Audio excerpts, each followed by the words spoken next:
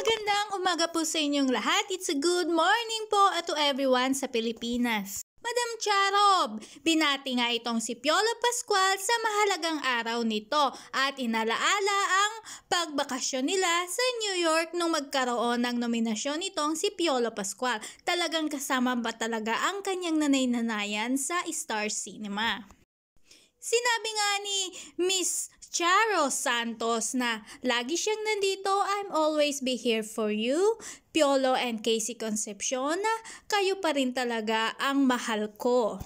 Napakabuti talaga nitong host ng maalaala mo kaya na si Madam Charo hindi talaga ito nakakalimot sa mga sumisikat at mga nagsisimula niyang mga anak-anakan sa ABS-CBN. Lagi niya ngang sinasabi dito na I'm always be here for you.